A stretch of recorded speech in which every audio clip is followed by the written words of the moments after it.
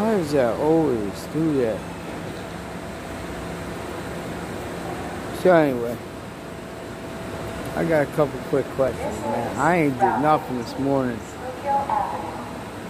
But um question about like Big Bird. Alright, Big Bird for years is seeing a two ton woolly mammoth walking around Sesame Street. And no one else sees this or hears any rumbling or sees any holes in the street, no problem, no giant piles of crap. Because it's a woolly mammoth, you gotta eat a lot of stuff, right? Gotta go to the bathroom pretty well. In other words, that's gonna be a big pile of duty. Did Big Bird go around with a with a, with a duty pan and a brush and clean up after him? No.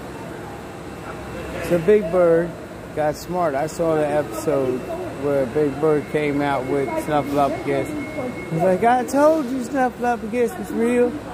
See, the thing is, Snuffleupagus is not real. Big Bird just wised up and started putting acid in the water supply for Sesame Street. Now everybody sees Snuffleupagus, including Snuffleupagus. That's not my only problem. I seen the count outside in the daylight. Alright, I'm not trying to sorry.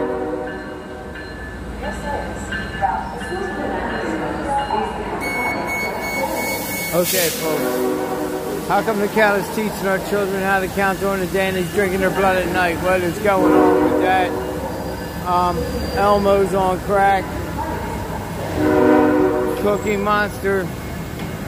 He's eating cookies after he's done eating. you know, the guy don't live on cookies, man. He's a monster. Monsters don't live on cookies. That's dessert. Um, SpongeBob is